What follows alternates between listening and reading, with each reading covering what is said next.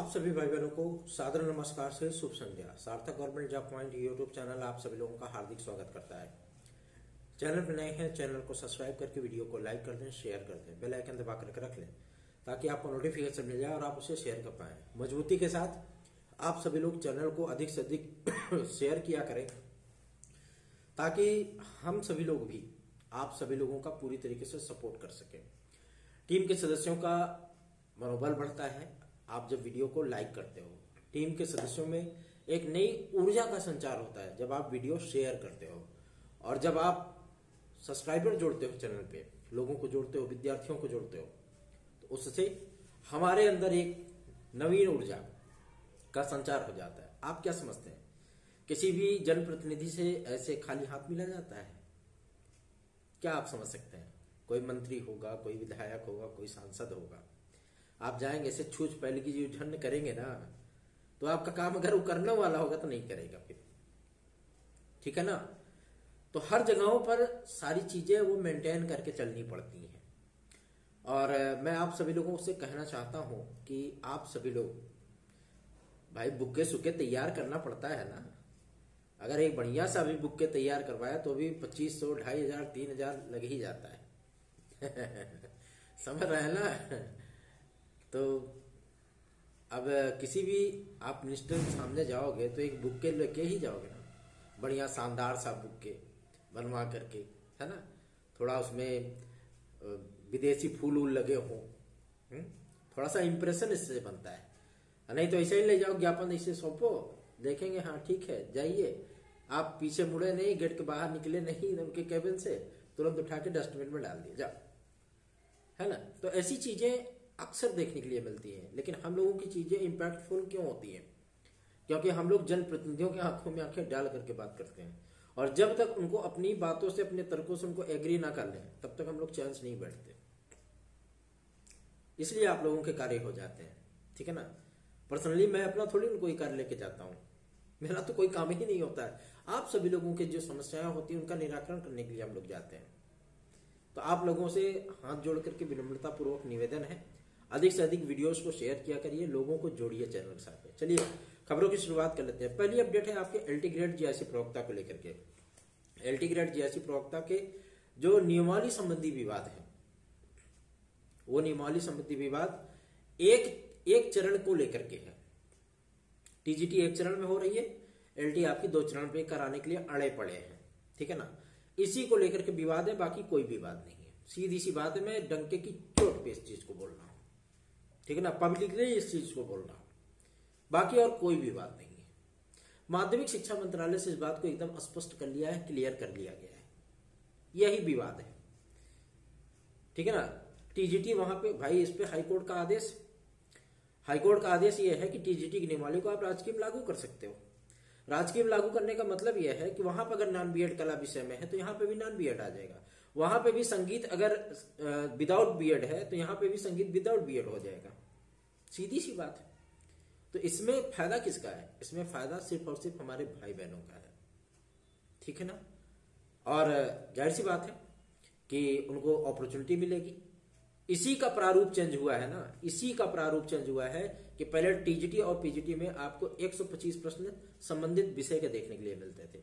लेकिन अब अब देखने के लिए क्या मिलेगा? जीएस प्लस सब्जेक्ट 120 क्वेश्चन आपको सब्जेक्ट मिलेगा 30 क्वेश्चन आपको जीएस मिलेगा. टाइम पीरियड वही होगा जो लोक सेवा आयोग में एलटी ग्रेड का होता है. आप लोगों को सटीक जानकारी दी गई थी ना? तो यही चीज़ें हैं। परिवर्तन हुआ ना?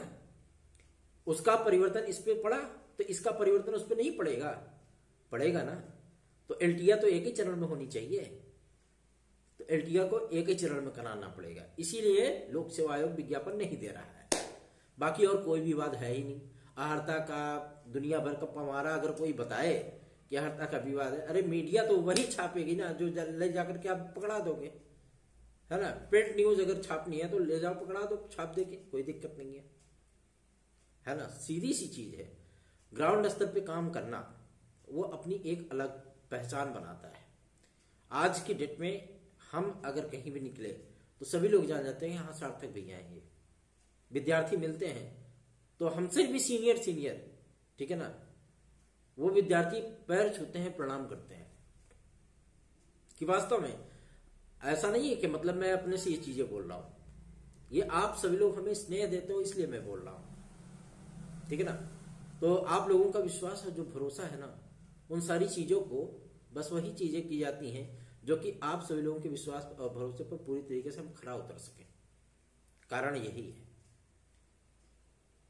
एलटी ग्रेड जियासी प्रवक्ता के विज्ञापन के संबंध में मैं आप सभी लोगों को कुछ सूचनाएँ देना चाहता हूँ कि इस विवाद को लेकर के हम सभी लोगों ने आज माध्यमिक शिक्षा मंत्री महोदया को ज्ञापन सेंड किया।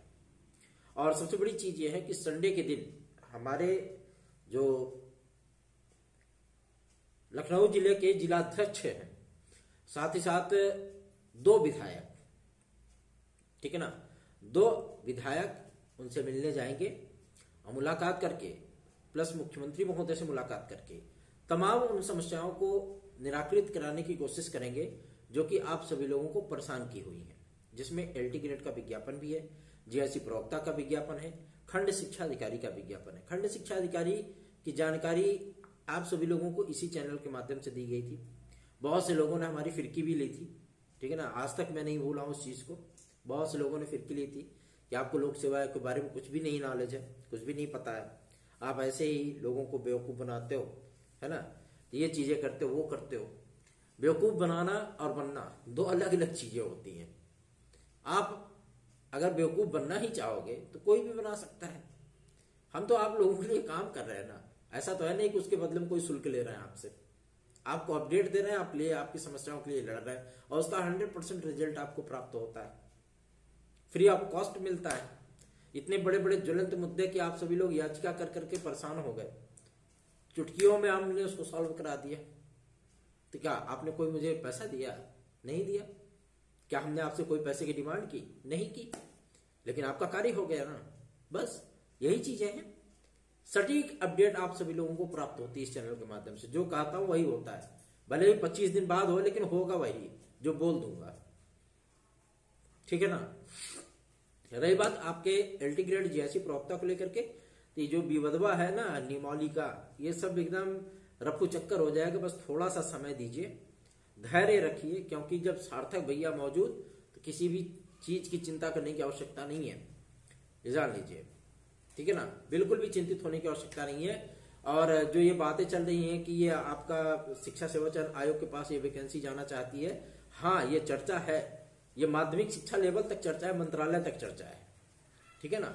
लेकिन आप लोग टेंशन मत लीजिए। अगर आप लोग चाहते हैं कि लोक सेवा आयोग के माध्यम से विज्ञापन आए तो गारंटीड ये विज्ञापन लोक सेवा आयोग को ही देना पड़ेगा। इस बात में हम आपको एकदम बिल्कुल भी आश्वस्त कर देना चाहते हैं। अगर आप लोग चाहेंगे कि हाँ ये विज्ञापन शिक्षा सेवा चयन आयोग से आए तो बिल्कुल। चलो, तुरंत घुमाते हैं। आ जाएगा लोक सेवा आयोग से लेकर के उनको दे दिया जाएगा। क्या दिक्कत है? विद्यार्थियों की सुविधाएँ देखी जाती हैं। विद्यार्थी कहाँ पे अपने आप को परफेक्ट समझ रहे हैं? कहाँ पे प्रिपरेशन वो बेहतरीन ढंग से कर सकते हैं? किस आयोग के माध्यम से एग्ज़ाम देने में ज़्यादा अपने आप को कंफर्टेबल महसूस कर रहा है? ये मायने रखता है। तो आप लोग चिंतित बिल्कुल ना हो, क्योंकि सारी चीज़ें पॉजिटिव हैं। तो अधिकारियों को उंगली करने से क्या मतलब? सोते हुए शेरों को उंगली नहीं की जाती है ना। अगर आप उंगली करेंगे तो शेर तो फाट डालेगा फिर, है ना? तो इसीलिए सीधी सी बात है, जो कार्य हो रहे हैं, उनको होने दीजिए। पता लगे कि हम इन सारी चीज़ों को लेकर के डिस्कस करें एक्सप्लेन करें उनके सामने, और वो चीज़ें, वो फाइलें वहीं पर रुक जाए, दम तोड़ दें। फिर चलो भैया, दो साल कमल झराते रहो, कव्वाली गाते रहो, क्या दिक्कत है? सीधी सी बात है है ना? तो आप लोग चिंतित ना हो, अपनी प्रिपरेशन पे आप ध्यान दो। आपकी समस्याओं के निराकरण पर हम ध्यान देते हैं। निश्चिंत, बेफिक्र होकर के चैनल को आप सभी लोग सपोर्ट करना शुरू करिए। और रही बात आपके टीजीटी, पीजीटी की और यूपी ट्रिपल एस की। टीजीटी, पीजीटी, आप सभी लोगों का फरवरी में एग्ज़ाम डिक्लेयर हो जाएगा, मैं ये बता दे रहा हूँ, पहले से ठीक है ना? आपका शेड्यूल जारी कर दिया जाएगा। अब ये फरवरी में आपका एग्ज़ाम होना है, वैसे चांसेस तो है, क्योंकि पुलिस प्रोन्नति बोर्ड जो बोला वो करके दिखा रहा है, ठीक है? और सबसे बड़ी चीज़ ये है कि मतलब एक माहौल सा क्रिएट करने की कोशिश है। और हम सभी लोगों ने जिस तरीके से भाई पार्टी के कार्यकर्ता होने के नाते हम लोगों ने जिस तरीके से फीडबैक दिया है उसी के माध्यम से कि कम से कम नहीं तो एक लाख विद्यार्थियों को कम से कम एक लाख विद्यार्थियों को चाहे वो यूपी ट्रिपल एस के माध्यम से हो चाहे पुलिस प्रोन्नति बोर्ड के माध्यम से हो चाहे माध्यमिक शिक्षा विभाग के माध्यम से हो चाहे आपके लेखपाल भर्ती को, को लेकर के हो आपके वीडियो को लेकर के हो चाहे आपके जो है मतलब टीजीडी पीजीटी को लेकर को। इन सभी विद्यार्थियों को ज्वाइनिंग लेटर मुख्यमंत्री और प्रधानमंत्री बांटने की प्लानिंग है, एकदम स्पष्ट है इस चीज़ को लेकर के। हम पहले भी इस चीज़ बोल चुके हैं। ठीक है ना? तो नियुक्ति और कार्मिक तो योगी जी के पास है ना? जब नियुक्ति और कार्मिक उन्हीं पास है तो ज्वाइनिंग लेटर कहाँ से आएगा? वहीं से तो आएगा। बिल्कुल भी चिंतित मत होइए, क्योंकि हम मौजूद हैं हम अपने भाई बहनों का किसी भी तरीके से अहित नहीं होने देंगे। वैधानिक तरीके से, लोकतांत्रिक तरीके से, जो चीज़ें लीगल हैं, लीगल मार्ग का अनुसरण करते हुए हम उस चीज़ को, उस प्रक्रिया को अपनाएँगे और विद्यार्थियों का कल्याण करेंगे, हंड्रेड परसेंट तय इलीगल काम मैं नहीं करता कोई भी। बियॉन्ड मैं किसी को सपोर्ट नहीं करता, सीधी सी बात है। ठीक है ना? और, किसी भी तरीके से जो है मतलब सोच सिफारिश वाली गुंजाइश इस चैनल पे बिल्कुल भी नहीं है। आप सभी लोग मेहनत करिए। आपके मेहनत में अगर कोई समस्या आ रही है तो सार्थक भैया मौजूद है। सीधी सी बात है। आपको हमारे मैटर लेकर के पढ़ने तो आप आठ सौ तीस बत्तीस बहत्तर दो सौ बयासी व्हाट्सएप नंबर पर हमसे जुड़ करके ले सकते हैं हमारे मैटर। आप पढ़ सकते हैं, कोई दिक्कत नहीं है। शत प्रतिशत सफलता की गारंटी हमारा नोट्स आपको प्रोवाइड करता है। और टीजीडी पीजीटी को लेकर के जो जद्दोजहद चल रही है, ये सारी चीज़ों का क्लियरेंस भी आपका जनवरी में होने चल रहा है। टेंशन बिल्कुल मत लीजिए। यूपी ट्रिपल एस आप सभी लोगों का जनवरी से लेकर के फरवरी, मैं आपको बताता आया हूँ, कई भर्ती परीक्षाओं के परिणाम को डिक्लेयर करने चल रहा है।